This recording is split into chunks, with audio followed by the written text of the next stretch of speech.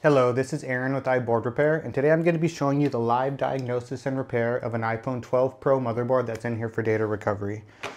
Um, this customer stated that this phone has just died spontaneously and they did nothing to it. It just stopped working on its own. And I've already removed the screen and taken a look at the inner components and uh, nothing's jumping out, but my first step when I'm diagnosing these boards is to take my DC power supply probes and uh, see what they're telling me when I tell the phone to boot. So when I prompt the phone to boot by pressing the power button, I get a small amperage spike, as you can see. Uh, this usually indicates uh, normally a power rail failure. Uh, normally I'll find like a shorted power rail, but that's not always the case. Something is just preventing this CPU from turning on, so my job is to figure out what that is. Um, my first step when I'm working with this is to usually assume that I have a shorted power rail it could also be like a, a, a, loose boost coil, but checking power rails is always a good first step. And my NAND power rails are already on this top layer and exposed. I checked these uh, earlier and they were fine, but I can show you again. I have my 2v6 line, my 1v2 line, and my uh, OV9 line. So this is my 2v6, it looks normal. My 1v2 looks normal, and my OV9 all looks normal. So a NAND short is not the problem in this case. That's a very common problem, so I'd like to check that first. Um, but I've done as much as I can with just the screen taken off, so I'm gonna go ahead and remove this motherboard out of the housing and uh, we can diagnose it further. Okay, with the motherboard out of the housing, I wanna make sure I still have the same behavior.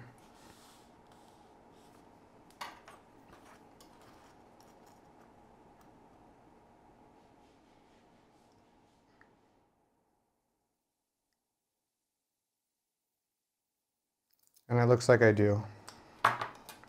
So I still want to go off the assumption that I have a bad power rail. So I'm going to expose the area around the PMIC and start checking those, those lines.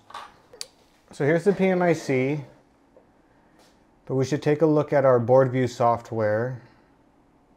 So I have my 12 Pro open and uh, we should look at as many power rails as we can.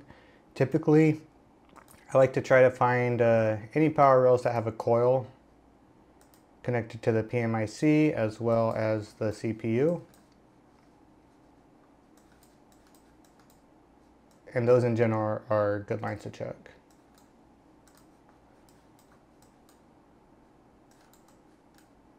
Other good lines are going to be uh, RAM. So 1V8S2 is our RAM line.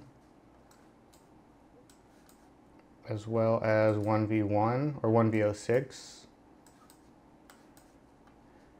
And OV6 is another good one to check. There it is.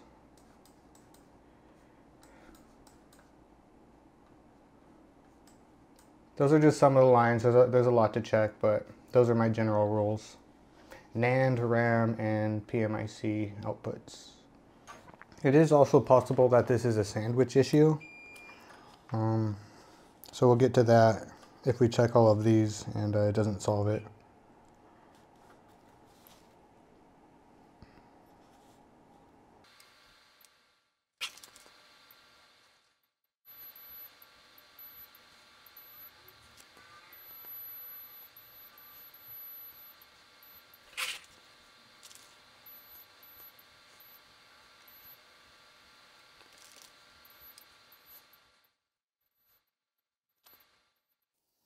Okay, most of the power rails seem to be okay. I'm going to go ahead and split the sandwich here and uh, let's take a look at the more inner components. I have my heating platform here set to uh, 235, 230. And this will take some time to reach the proper temperature, so I'll go ahead and pause the video and I'll be back with you once it's ready to split. Okay, this looks like it's ready to pull.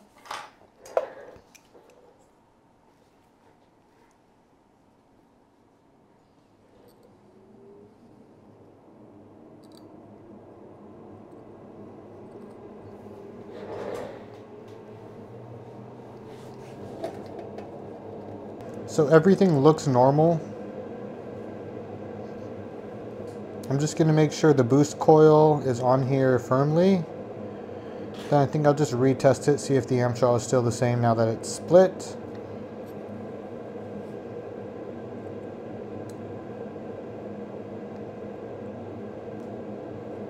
Boost coil fell off.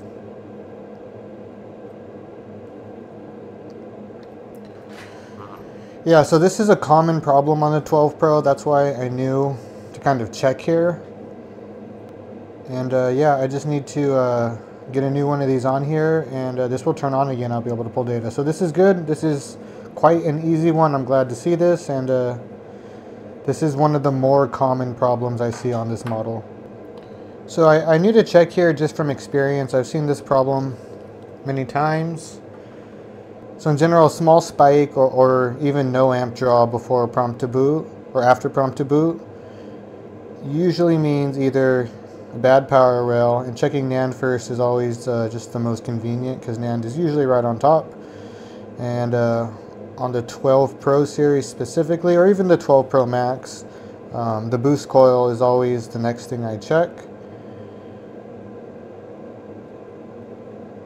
And uh, the boost coil is for the boost circuit that uh, boosts the voltage when it goes low, and the phone doesn't work without that, without that circuit present.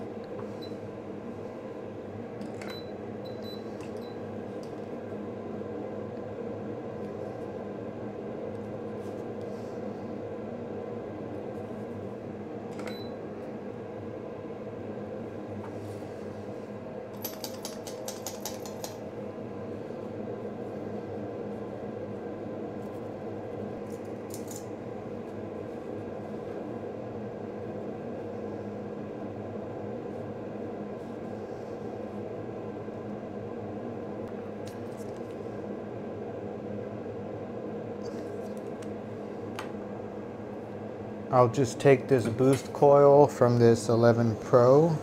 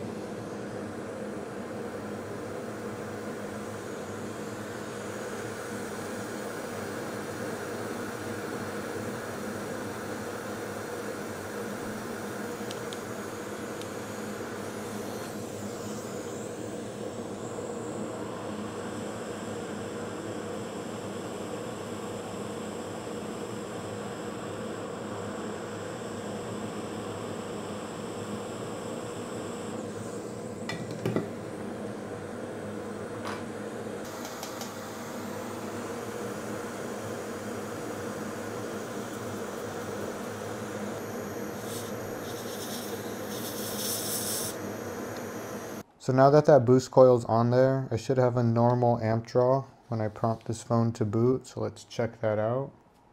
Before we were getting a small spike. And now this already looks much better. And uh, I don't even need to wait, I'm sure it's booting. So the 12 Pro, I can pull data with just the top board only. So I'll go ahead and I'll, I'll grab my parts and I'll show you that it's turning on. And then uh, that will be that.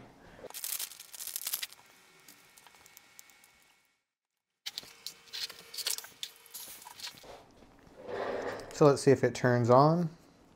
There's our Apple logo. And there it goes. Looks like it booted up.